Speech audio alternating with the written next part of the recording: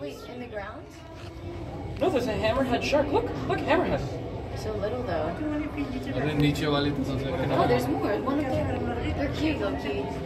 I think hammerheads is the, the friendliest sharks. I don't know. I think that's it. Look how big the big boys are. They're cool. Wow. ये सब बड़े